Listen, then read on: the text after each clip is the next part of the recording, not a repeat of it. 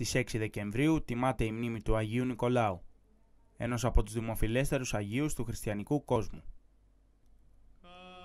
Ο Άγιος Νικόλαος γεννήθηκε στις 15 Μαρτίου του 270 στα Πάταρα της Λυκίας, σημερινό Γκελεμής Τουρκίας, από γονείς ευσεβείς και πλούσιους και έτυχε επιμελημένης μόρφωσης. Αφού μοίρασε την περιουσία του στους φτωχούς, χειροτονήθηκε ιερέας και αγωνίστηκε για τη διάδοση χριστιανικής πίστης, προστατεύοντας συγχρόνως κάθε αδύνατο, πάσχοντα ή αδικούμενο.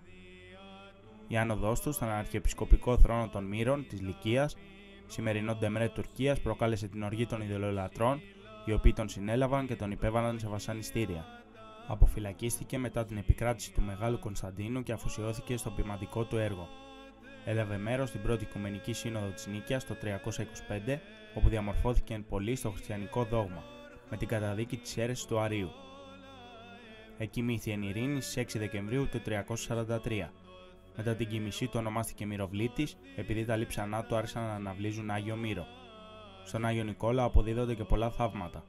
Το μεγαλύτερο μέρος των λειψάνων του βρίσκονται σήμερα στη βασιλική του Αγίου Νικολάου στον Μπάρι της Ιταλίας και ένα μέρος τους στο ναό του Αγίου Νικολάου στο νησάκι Λίντο της Βενετίας.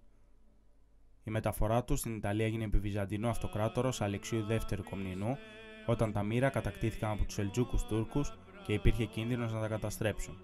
Ο Άγιος Νικόλαος τιμάται ιδιαίτερα σε όλο τον ελληνικό χώρο από τους ανθρώπους της θάλασσας. Είναι προστάτης των ναυτικών, του πολεμικού και του εμπορικού ναυτικού. Είναι ο πολιούχος Άγιος Αλεξανδρούπολης, του Βόλου, του Γαλαξιδίου, της Κοζάνης, του Πολύγερου, της Ιτίας και της Σύρου.